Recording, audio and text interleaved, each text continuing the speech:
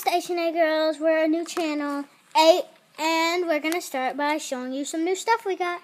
So, um, this is a new thing. I had these earrings, so we just pierced um Caroline's ears.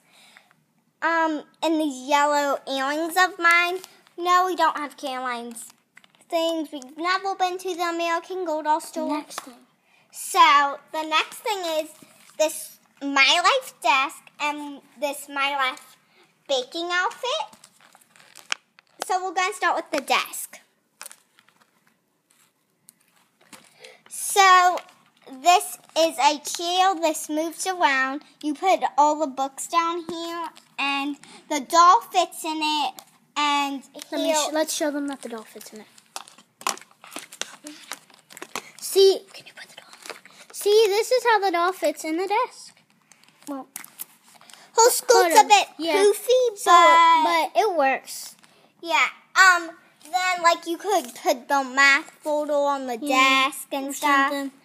Which we made the math folder, just to let you know. Yeah. Well, And well, this is this is the baking outfit. Instead of buying Grace's for twenty-eight dollars, I bought this for ten.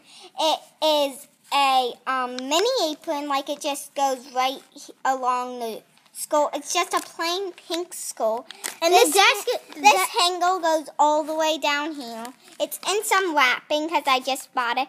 There are some macaroons. This is I'm gonna give to um Grace the doll of the year 2015 because it's baking. Then it says ooh la la. Ooh la la.